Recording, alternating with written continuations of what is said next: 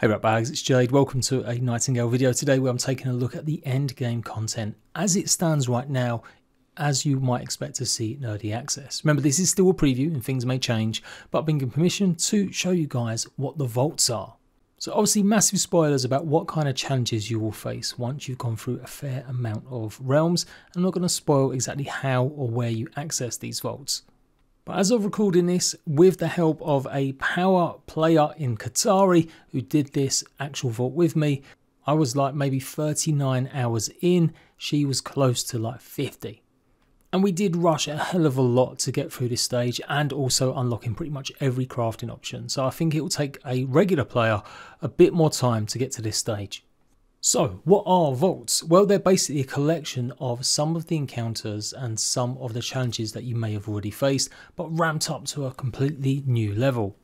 So basically, as you've explored the different realms, you've come across maybe Bastilles. That's the idea anyway. And these Bastilles have basically smaller portals to these dungeon-like areas. Some of them will be a case of defending from various bound creatures. Others, you'll have to do that a little, but you'll also have to solve some of the puzzles in a much wider context in some of these dungeons, trying to find the right types of rooms to press or hearing, listening to the right puzzle elements to ping off.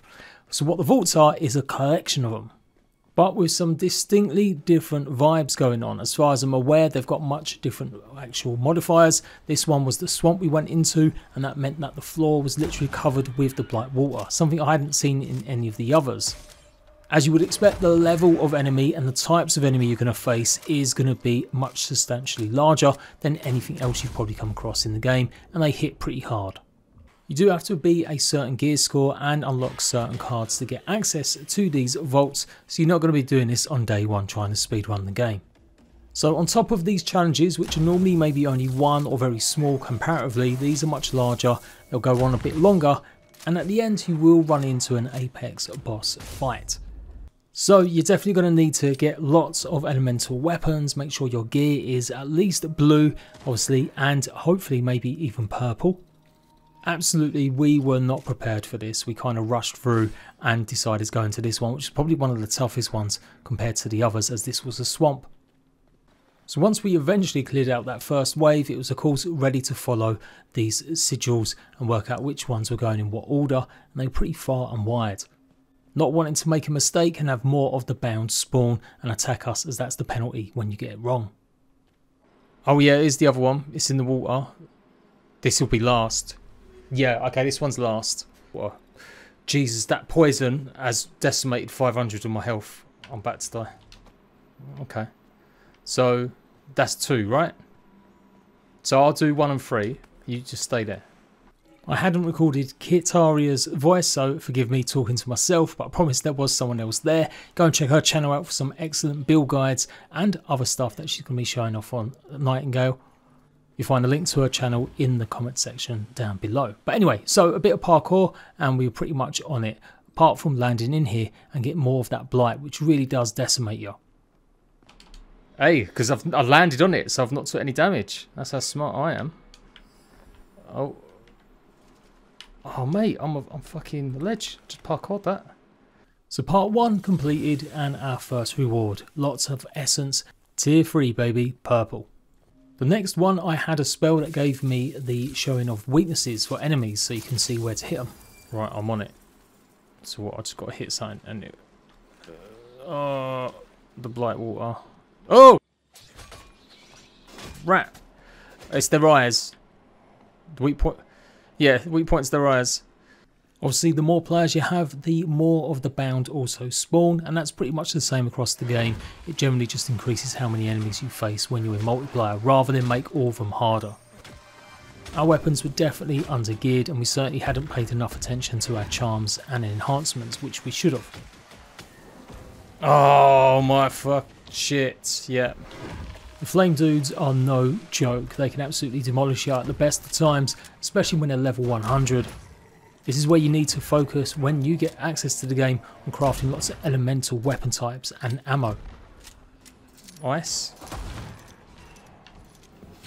Yeah. Oh, look at that. That's the one, Kit. These dungeons are massive, there's so many different walkways you can go, it's very easy to get lost and obviously you're trying to avoid getting shot and done in by so many of the creatures. So in this part of the dungeon we had to go and find the runes, you can see the blue one there on the wall, we'd activated them all and just had to deal with the last of the rats before getting our reward again. Skinning Simulator 2018, no 2018, what year is it? 224. Thankfully, after that, you get to have a rest, just like you do in a lot of the other smaller Bastilles, and make sure you get to cook up any food. Definitely vital to make sure you have a rest. This is where preparation is key to succeed in Nightingale, making sure you've got the right potions and items to resist a lot of the blight. There's so much water here, there just really isn't much avoiding it. Oh no, you know what? I'm going to use my picks. Watch this, some pro gameplay I'm about to do now. I didn't get the chance to as we were pretty much set upon by the bound.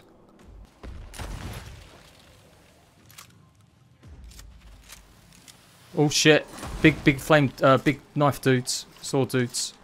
So these dungeons, these vaults, they are procedurally generated. You'll have the same kind of layout or same things to do, but it'll be in different order sometimes and you may have different variations of enemies and obviously depending on what of the biomes you chose.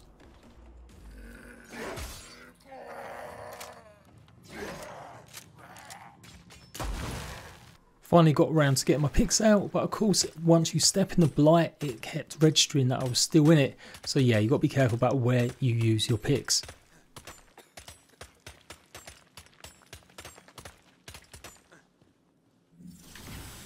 Buddha. So after exploring around, we eventually found what we needed, which was the extraction device. This was going to be the third stage. We now have to fight off waves and waves of the bound to hopefully stop them from destroying the extraction unit. Oh, yeah, no. Lightning damage isn't doing fuck all to him.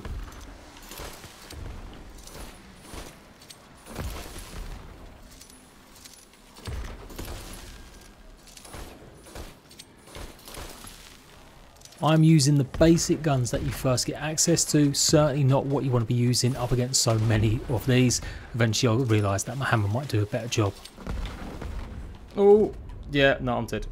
Thankfully you do respawn at the start of this so you don't just immediately get kicked out and doesn't look like there's any kind of time limit on completing. Oh mate, they... Yeah, it's doing nothing though because they're obviously flamed. Oh, there we go. That that's that's better. That's better. Yeah, just yeeted her. Oh, I'm down.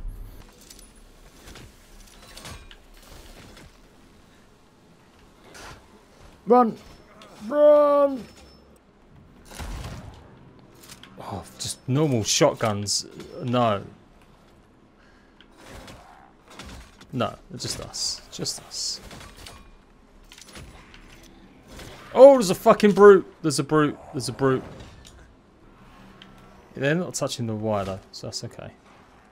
Oh, someone getting yeeted. I just saw one just go flying. With elemental bullets, I can't wait we craft them because then it's game over. Oh yeah, look, he's just flying. He just flew at you. Like, that was weird. I saw that. He just, like, teleported across the room. Are the other ones respawning or something? Because I swear they feel like they're just not...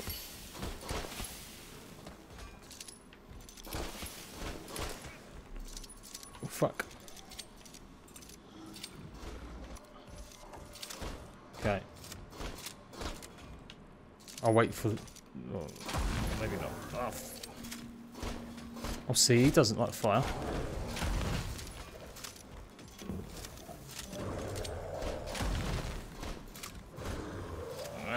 He's dead. Whew. Finally got our next reward, and don't forget the chest as well, although this one had just wood in it. I love how th there was fucking fibre and wood in the reward chest for me. In the box next to it, you know where you get the, the lotus. Oh, it's the fucking toad. Oh, he's chasing the flies. That's such a cool little addition. He's literally chasing a flyer that was flying around. Jana. Oh, Jana. Yes. Did Jan slay Jana's temporary... Oh, no, I've gone the wrong way. Oh. Yeah, that didn't work. The Apex Predators. These can be different depending on what vault you do. Oh shit! Oh shit! No, we're gonna die from the, the water. I'm just gonna stand here. I'm gonna pretend. To, uh, maybe we can cheese. Fuck it. Oh, that did nothing. Oh yeah, weak spot, weak spot, weak spot, weak spot.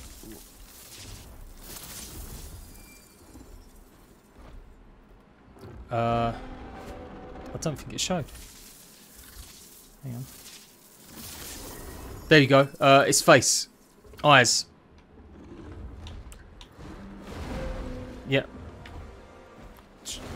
Oh my god. Oh. Oh. Oh, 24,000 damage there. Right in the eye. Oh, fuck.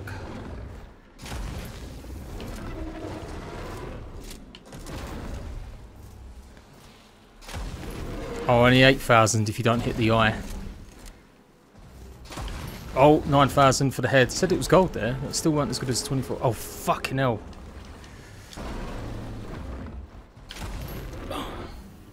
Nice, nice, nice, nice. Ooh. 15. Yep. The eyes of a never-ending story.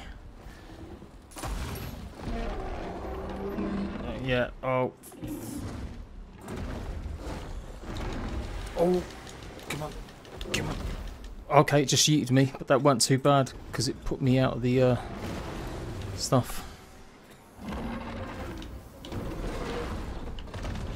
Oh, no. Okay. Oh, I'm dead. I forgot I could do the yeah, the little jump. There we go. There we go. Oh no, this red cloud is bullshit. You don't want to be in this red cloud shit. Not me. I'm gonna be right. Ah. Uh, right, they're... Fucking me. There. Maybe I had poison bullets in there. That's the only thing I can think of. Oh, come on. Oh, I'm live. Yeah, no. Okay, it is, it's got to be immune. As you can tell, I was getting stressed with all the swearing and the poison wasn't doing much against these guys. That's why I didn't have meat on me. I wasn't carrying the right shit.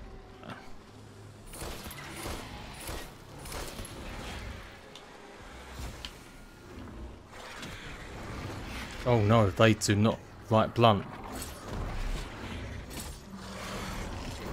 Me and Kiitaria then worked out that the boss was rehealing, so we just weren't doing enough damage against it. I don't know if it's worth trying to kill the harpies. Are they going to just respawn? So yeah, the harpies kind of ruined this for us. We just couldn't handle them at the same time. Our resources were dwindling, our heals were running out, and we didn't have the right kind of gear. We tried a bunch of times, pretty much till our armor was pretty much all broke, and we just literally run out of every heal.